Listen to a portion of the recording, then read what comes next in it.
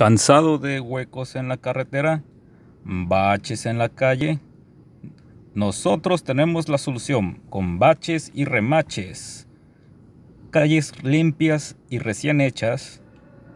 Avenidas recién pavimentadas. Vemos con nuestro científico. ¿Qué nos dice? Ah, claro, ah, tenemos los tres primeros pisos de su cara. Son dos y agarramos un tres y hacemos uh, de este sujeto una ingeniería inversa para poder recarpetear los pisos de la calle. Como ven aquí eh, está primer paso de su cutícula, la tapamos hacia arriba y listo. Wow, realmente cada vez están más raros esos comerciales. No, no sé quién los hace. Aquí está el depósito, entonces. Eh, habría que ver, ¿no? ¿Quién, quién es la persona que, hace esos comerciales o, o, bajo qué, cuál es su motivación, ¿verdad? Porque está medio raro, no lo voy a negar, está raro, se escucha como un comercial de los 70s, de los 80s, como los que pasaban en las radios de antes. Eh, y por lo que entendí es de que la persona tiene, tiene muchos cacarizos en su cara y me imagino que ya se los tapó, ¿verdad? Entonces, eh, me imagino que el científico o la persona que, estudió su rostro ocupó ingeniería inversa para poder hacer un recarpeteado perfecto de, asfáltico, ¿verdad? Pues yo no conozco bien de ese tema. Y pues yo creo que es una empresa que, va a tener éxito, que está, está sobresaliendo. Yo digo, para que haga un comercial, pues, porque realmente le está yendo bien.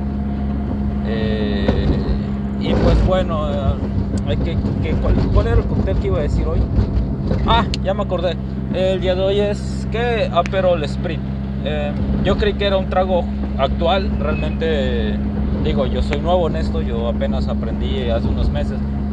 Entonces, el Aperol Spritz yace del año 1919 eh, muchísimo antes de la época de la prohibición alcohólica.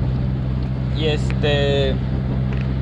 Y Spritz viene del alemán que significa que el alemán es Spritzen y significa burbujeante o gaseoso. tiene otros términos alemanes porque el alemán una palabra significa varias, como más o menos el inglés. Y sus pronunciaciones son bien raras. Entonces, pues más o menos de ahí viene. Eh, el video que les voy a poner más o menos se, explica, los voy a poner acá arriba. No, bueno, no, acá al lado mejor.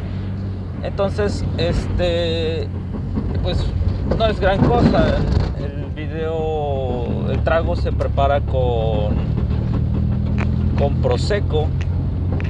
Eh, prosecco es un vino espumoso, eh, puede ser cava o puede ser prosecco.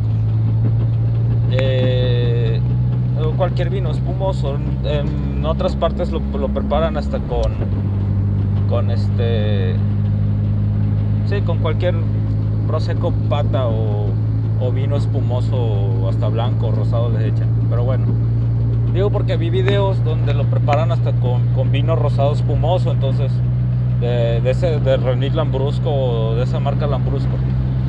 Pero no, yo creo que son videos de bajo presupuesto, así que no, no hagan. Bueno, ahí va. El, video, el trago lleva eh, onza y media o dos onzas de Aperol. Aperol es una, eh, un licor italiano. De igual el Aperol Spritz precisamente es un trago italiano eh, desconozco el por qué Spritzen significa bien en alemán, ¿verdad? Pero bueno, once y media de, de, de Aperol, un dash de agua mineral. Un dash estamos hablando que es un toque, o sea, no, no son tres onzas ni no, es un, un leve, un toque y leve. Y lleva aproximadamente tres onzas y media de prosecco Está, está difícil medir el proseco puesto que este es más, más complicado en el aspecto de que eh, pues es espumoso y se te va a regar en el jigger. Mira, hubo un accidente, hijos de su madre. Se mató un güey. Y este y va adornado con una rodaja de naranja. O algunos en su defecto le echan una piel de naranja. O oficialmente es una rodaja de naranja. Anteriormente lo preparaban con más cosas. ¿Por qué? Porque el Aperol eh, era, era un, no tal cual un, un licor ya definido. Le echaban este, hasta bitter, le echaban algunas hojas ahí para condimentarlo. La receta la tengo, pero realmente es muy laboriosa y, da hueva. Pero bueno, le dejo el video acá arriba, no, acá, acá, acá, acá al lado y este, y bueno, ahí está el video. Y más o menos se los expliqué. Realmente no he tenido mucho tiempo de hacer videos, porque más que nada espero que que alguien salga algún, algún buen samaritano y, y me haga los, los, depósitos ya es cuando ya hago los videos.